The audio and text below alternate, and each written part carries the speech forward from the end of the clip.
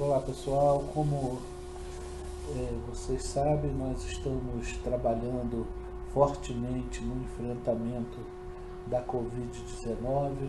Nossa intenção é conter a pandemia, mitigar seus impactos nos territórios. Para isso, precisamos monitorar as diversas ameaças que ocorrem e as vulnerabilidades que os territórios possam ter e dessa forma nós organizamos uma plataforma de inteligência cooperativa que vai nos ajudar a fazer esse enfrentamento. Eu vou apresentar para vocês a PICAPS, a plataforma de inteligência cooperativa com atenção primária e saúde.